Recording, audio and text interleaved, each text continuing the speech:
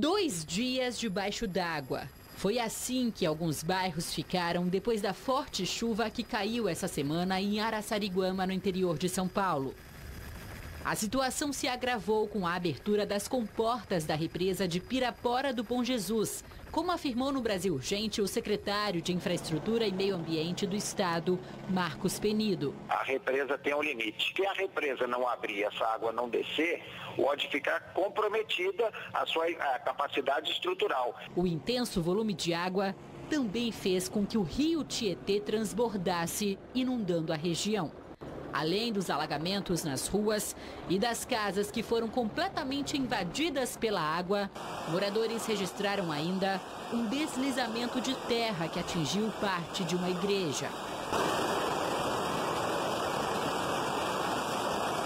Datena, estamos aqui às margens do rio Tietê, em Araçariguama. A gente vê que o nível continua elevado, mas baixou bastante em comparação aos últimos dias, quando transbordou, passando de uma altura de mais de 4 metros. A força da correnteza também causou diversos transtornos em várias casas aqui deste bairro, que foi o mais afetado da cidade. O bairro de Santa Ela, em Araçariguama. Olha a altura que tá a água.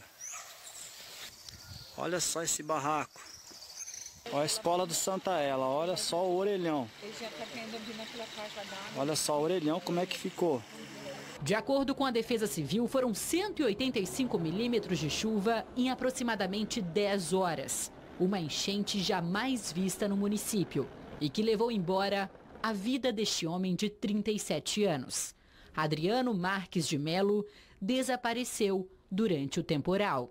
Não, ele estava aqui na casa dele por volta das 10 da manhã na segunda-feira e saiu para ir ajudar outras pessoas lá embaixo. E na madrugada da terça-feira ele achou de vir. O rio já tinha chegado a uma certa altura. Qual altura? É, mais de dois metros que eu passei nadando, eu tenho 1,85m. Não aguentei, garrei na, no alambrado ele já tinha vindo. Ele falou que ia vir nadando? Que ia vir nadando, sabia nadar bem e nisso aconteceu de se afogar.